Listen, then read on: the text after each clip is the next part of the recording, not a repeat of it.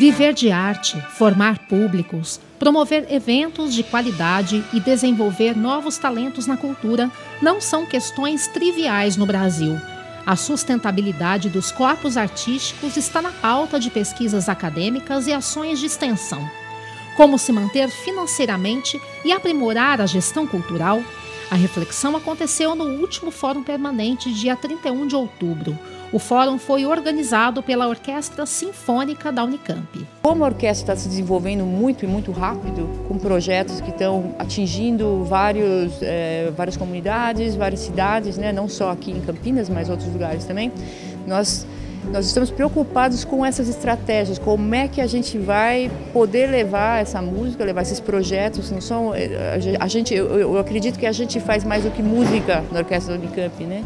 Nós temos vários tipos de projetos uh, nesse sentido. Então, enfim, nós estamos preocupados com essa, essa, esse trajeto. Como é que a gente vai fazer para levar a orquestra para ela se expandir é, com o apoio que nos é dado aqui na universidade e, enfim, como é que a gente vai usar a nossa criatividade para conseguir expandir isso para mais longe? Temos desafios políticos para que as pessoas, os políticos, as instituições compreendam a função, o compromisso que é de, faz, de se fazer arte e se bancar a cultura, no, tanto na universidade quanto fora dela. A gente tem conseguido trazer a ópera para a cidade de Campinas, para a região de Campinas, e a gente tem tido um público ótimo, e isso é bastante animador, porque demonstra que a nossa criatividade em fazer as coisas acontecerem pode dar certo. A sustentabilidade de corpos artísticos vai muito além da captação de recursos financeiros. Planejamento, curadoria, integração de profissionais e gestores culturais são garantias fundamentais de acesso à cultura e formação de público. Que tipo de valor é gerado, é consumido e é percebido por aqueles que no final sustentam né, essas estruturas todas, que não são só os governos, mas as empresas e especialmente o público. Quer dizer, é, pelo investimento de tempo, energia, talento e dinheiro também, o que, que a gente pode retornar? Né, e como é que a gente demonstra essa história? Como é que a gente faz essa narrativa, demonstrando que é sim uma, uma, um tipo de instituição ativa e que gera valor? Existe algum investimento na infraestrutura necessária para essa música ser feita, essa arte ser levada ao público, mas em, em vários outros elos dessa cadeia produtiva, e eu vou explorar bastante isso na minha apresentação, a gente vê um hiato de suporte e acho que é muito mais por falta de conhecimento né, de onde vem esse, de onde vêm esses insumos, esses materiais brutos né, que a gente utiliza na música orquestral e até onde eles levam em termos de bem-estar, desenvolvimento social, educação, turismo, etc. Então a gente vê uma concentração de esforços em alguns dos elos da cadeia e uma ausência quase total nos outros elos.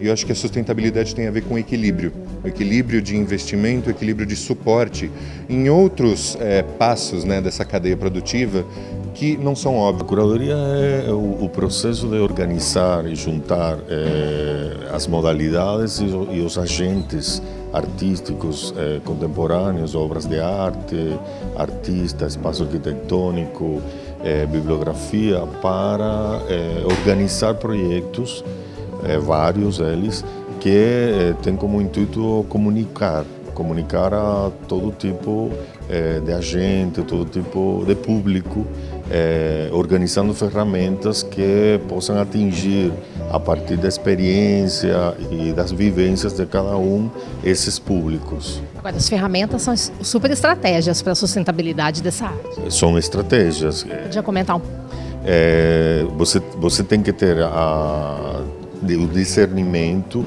de em que, em, em que momento vai usar cada, que tipo de estratégia você, você vai utilizar para cada é, momento, para cada projeto. E a partir daí você organiza e prepara para esse tipo de público específico para o qual está direcionado eh, esses projetos. Tem que acompanhar todas as mudanças que vão acontecendo eh, no mundo. Então, por exemplo, essa mudança eh, de nomenclatura de plásticas, artes plásticas para as artes visuais, acontece precisamente pela eh, introdução, pela inserção da música, eh, do cinema, da fotografia dentro do, sistemas sistema artístico.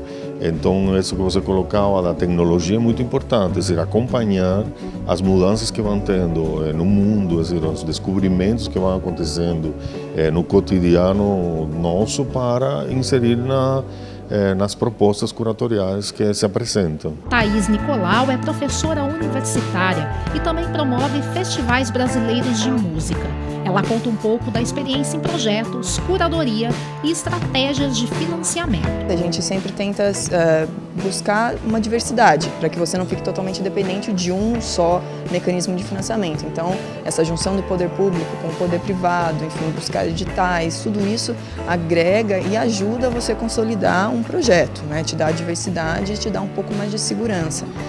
A mesa redonda que eu participo hoje, ela vai falar do papel do curador dentro da, da, das possibilidades de financiamento cultural. E achei um, um ponto interessante porque é, é, uma responsabilidade da pessoa que está decidindo o que vai ser apresentado, né? porque ela tem que agradar, de certa forma, o público, né? mesmo que esse público não esteja financiando o evento, mas é interessante que o público tenha interesse em participar. Se for um, evento financiado por lei de incentivo ou patrocinado via, mesmo que seja direto, também tem essa parte de, de, de constantemente agregar valor ao evento para que você consiga manter seus parceiros. Né? Mas um ponto que eu acho que às vezes uh, fica um pouco perdido nessa, nessa responsabilidade que o curador tem é, é que isso é uma, uma oportunidade que, que, que a gente tem, é um equilíbrio constante que a gente busca entre trazer o que é bastante conhecido né, e o que ainda não é. E, e, e, usar essa oportunidade, né, que as pessoas vão a eventos e a oportunidades do que eles já conhecem, para introduzir novos conteúdos.